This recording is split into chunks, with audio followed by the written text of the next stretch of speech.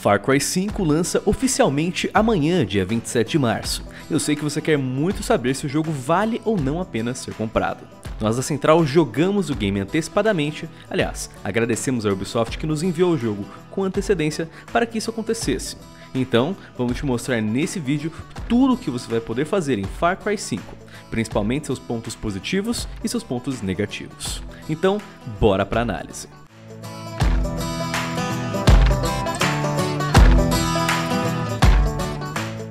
Um mundo aberto gigante, gameplay em primeira pessoa tanto single player como cooperativo, muita ação e uma ótima narrativa. Isso e muito mais é o que você encontrará em Far Cry 5. O game traz um assunto polêmico para a história principal do jogo, uma seita religiosa cristã extremista que está dominando um condado chamado de Hope County em Montana, nos Estados Unidos. A seita é comandada por Joseph Seed, que prega que o mundo está chegando ao fim e um evento está próximo de chegar e eles têm a salvação para as pessoas do condado. O projeto tem o nome de Portão do Éden, onde a crença é que eles foram enviados para salvar o máximo de pessoas do fim, e assim eles conseguem manipular todos a fim de criar um grande exército. Joseph Seed, o comandante do credo, é um vilão irreverente, forte candidato para ser mais um da franquia a ser inesquecível. Além disso, temos mais três antagonistas na história: John Seed, Fate Seed e Jacob Seed, cada um deles sendo responsável por uma região do mapa do jogo. Agora que eu já expliquei um pouco do enredo do game, vamos à gameplay. Como falado, o jogo tem três grandes regiões, dominadas cada um por um membro da família Seed. Seu papel no jogo é lutar contra a seita e retomar a paz no local, e existe várias formas de se fazer isso. Você deve fazer missões para criar uma resistência. Trata-se de missões da campanha principal, missões secundárias, atacar postos avançados da seita e expulsá-los de lá. É possível também eliminar os recursos do inimigo, salvar reféns e muito muitas outras opções. O mais legal em tudo isso é que o jogo não é linear. Você pode ir aonde quiser e quando quiser. O mundo de Far Cry 5 é extremamente vivo, te possibilitando falar com praticamente todo mundo, sempre obtendo algum tipo de informação ou novas missões no processo. E falando nelas, você pode tanto ser mais stealth quanto simplesmente meter o louco e sair matando geral. Isso se dá graças às armas de aluguel, que são basicamente aliados que podem ser levados para os campos de batalha, sendo cada um deles possuinte de uma característica específica. Temos Nick, um piloto de avião que pode te ajudar a explodir os fanáticos da seita.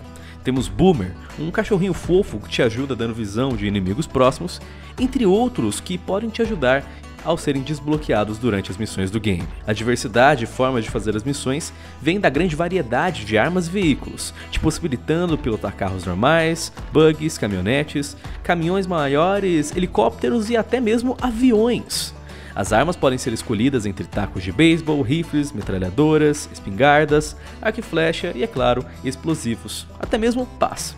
E o melhor, todas são totalmente customizáveis, então tudo vai ter um pouco da sua cara. É possível até criar coisas caso você tenha materiais, como itens homeopáticos que deixam seu personagem com habilidades melhores, como por exemplo estar em fúria ou ter uma velocidade de corrida aumentada. Sempre haverá a opção que se encaixa no seu estilo de jogo, incluindo armas diferentes e bem legais. O sistema de progressão e melhoria do seu personagem no jogo são de acordo com os objetivos.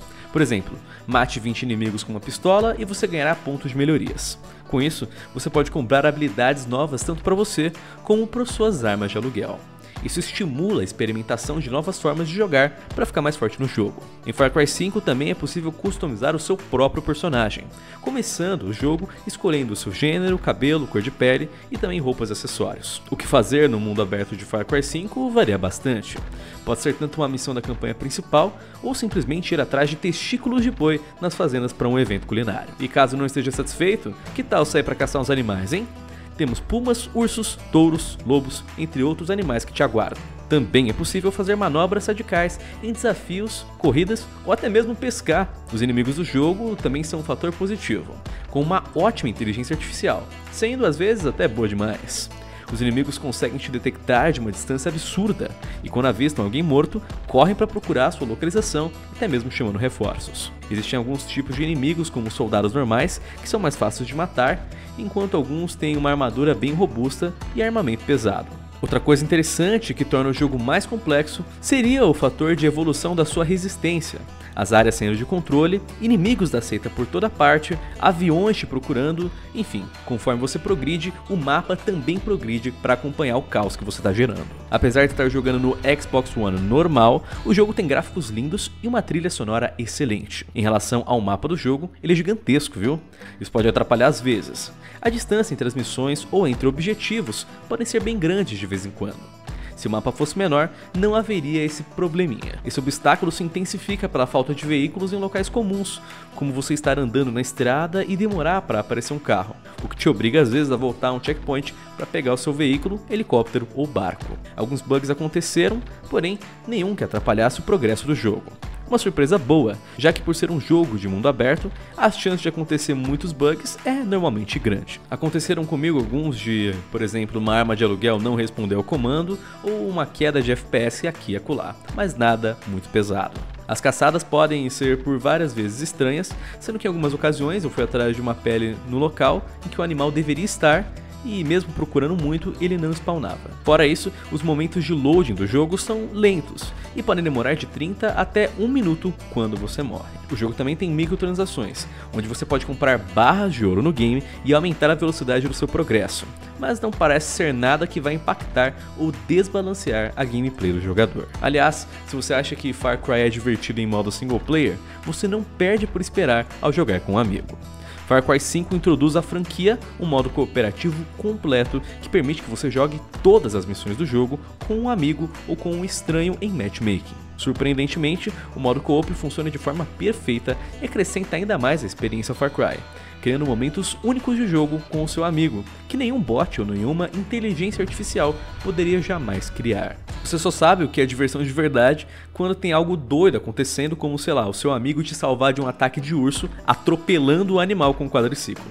Ou na vez que vocês atacaram um posto inimigo juntos e acabaram roubando um avião na proximidade só para jogar ele na torre inimiga. Esses são momentos hilários e que nunca ocorreriam normalmente se não fosse pela experiência co-op de Far Cry, uma das melhores adições já feitas à franquia e que vai deixar a sua jogatina consideravelmente mais divertida. Além de single player e modo co-op, o jogo também tem um modo arcade, a qual pode-se criar o seu próprio mapa ou jogar uma infinidade de mapas criados por outros jogadores, aumentando muito mais a durabilidade do jogo, que é um fator bem importante, seja com modos PVP, PVE ou simplesmente com alguma experiência diversa. De fato, Far Cry 5 é um game interessante e corajoso por tratar de um assunto tão delicado como religião com uma narrativa ótima e antagonistas memoráveis, juntada a uma gameplay divertida e bem diversificada, o jogo vai te trazer um bom entretenimento e, mais importante, uma boa quantidade de horas de gameplay. Você pode facilmente passar das 50 horas jogadas pelo tamanho do jogo e pelo tanto de conteúdo que ele tem. Além da campanha single player, você ainda pode jogar o modo multiplayer, que é o Far Cry Arcade, e aumentar ainda mais esse tempo fora o modo co-op, que é uma das coisas mais divertidas que eu já joguei na minha vida. Foram poucas as coisas negativas encontradas no game, fazendo o nosso veredito chegar a uma incrível nota 9. Se não fosse por alguns problemas de design e alguns aspectos de bugs aqui e acolá, com certeza esse seria um game ainda mais memorável do que ele já é. Enfim, meu povo, para mais análises de jogos e filmes, é só checar os outros vídeos do quadro O Veredito aqui no canal, e para mais do Mundo Gamer é só se inscrever aqui na Central. Galera que foi o Lion, muito obrigado pela sua atenção e até mais.